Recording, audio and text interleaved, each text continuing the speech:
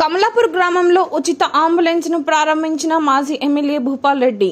రాజకీయాల్లో గెలుపోటంలో సహజమని కార్యకర్తలకు ఎల్లవెల్లలా అందుబాటులో ఉంటూ సమస్యల పోరాటానికి నిరంతరం కృషి చేస్తానని మాజీ ఎమ్మెల్యే మహారెడ్డి భూపాల్ రెడ్డి అన్నారు.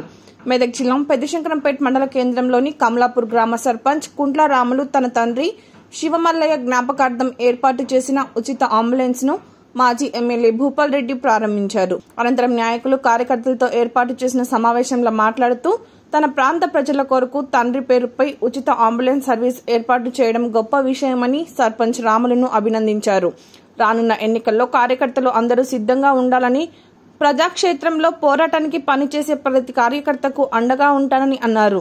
ఈ కార్యక్రమంలో ZPTC Vijayaramaraju MPP Jaggam Srinivas BRS party మండల అధ్యక్షుడు మురళీ పంతులు సురేష్ గౌడ్ మండల పార్టీ నాయ